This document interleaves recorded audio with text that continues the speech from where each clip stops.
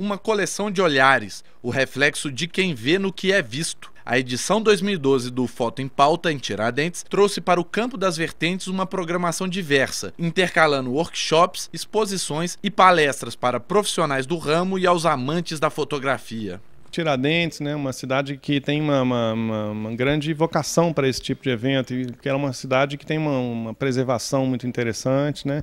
Tem essa relação com a imagem que atrai qualquer fotógrafo. Então, estar tá aqui diante desse cenário pronto é, facilita, envolve as pessoas. A facilidade de você também dispensar o carro, de poder circular livre pelas ruas, né, usando a câmera fotográfica. Nas grandes cidades hoje a gente tem problema de segurança. Né? O fotógrafo Tiago Santana é um dos destaques do festival e é ele quem assina uma exposição que oferece aos visitantes os mistérios do sertão em preto e branco.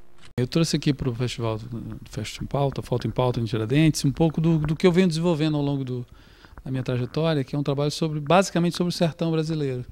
Né? Eu apresento aqui, eh, na verdade, é uma exposição de quatro fotos, né? na realidade não são pequenas fotos, são fotos grandes, que eu trabalho com uma panorâmica e que representam muito da minha história, né, do meu encontro com o meu lugar. A fotografia tem o poder de eternizar o momento e mexer com a percepção que temos do cotidiano. E esses reflexos apuram a maneira de se produzir cultura, modernizando o olhar do público e do artista.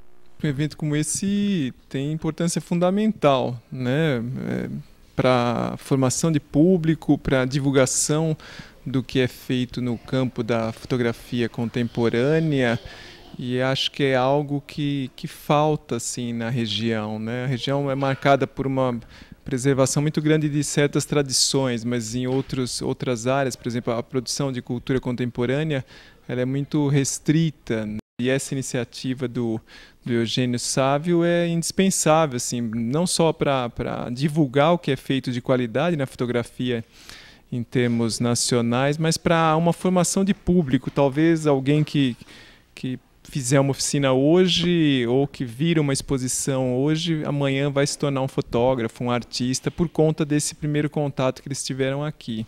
E quem esteve no evento nestes e em outros anos comenta sobre o que viu. Desde o primeiro ano, né, o ano passado, o evento já foi um grande sucesso e mostrou que tem assim, uma ligação muito forte com a nossa cidade.